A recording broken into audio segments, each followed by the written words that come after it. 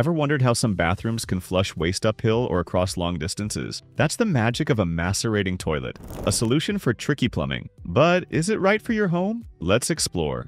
What is a macerating toilet? A macerating toilet is designed to make waste removal easier when traditional plumbing isn't an option. Unlike regular toilets that rely on gravity, a macerating toilet has a built-in pump that grinds waste into a slurry, which is then pumped through smaller pipes. This allows for installations in spaces like basements, attics, or tiny homes where gravity-fed plumbing can't reach. The system includes the pump, blades for grinding waste, and the toilet. Waste is ground into a slurry mixed with water and pumped vertically up to 15 feet or horizontally up to 150 feet. This makes macerating toilets a versatile and practical option for hard-to-plumb areas.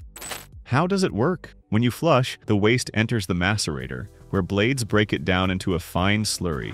The mixture is then pumped through small pipes, allowing it to travel long distances, up to 15 feet vertically or 150 feet horizontally. This eliminates the need for complex plumbing renovations. Installing a macerating toilet is easier than traditional plumbing because it uses small pipes. However, it does require power to run the pump so you'll need to plan for a power source. For simpler setups, you might manage the installation yourself, but for more complex ones, professional help is recommended.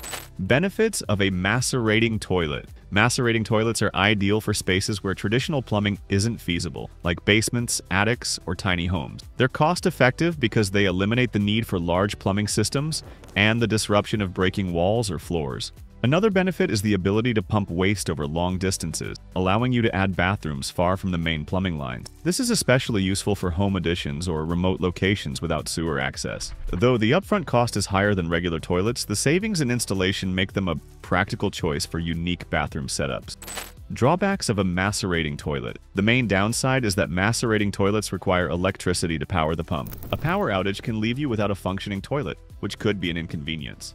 Maintenance is another consideration. The pump and blades need to be cleaned regularly to avoid clogs, and neglecting this could lead to costly repairs. Additionally, the noise from the grinding process is louder than a regular flush, which may be disruptive, especially in shared spaces. And while they're cheaper to install than traditional plumbing, the initial cost of the toilet and installation can be higher than a standard setup.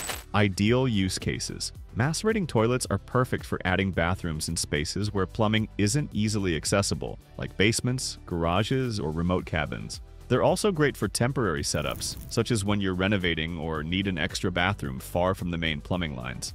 They're a practical solution for tiny homes, guest houses, or any area without sewer access. For homeowners looking to add a bathroom without expensive plumbing extensions, a macerating toilet is an ideal choice. Macerating toilets offer a smart solution for tricky plumbing, but they come with some maintenance and noise concerns.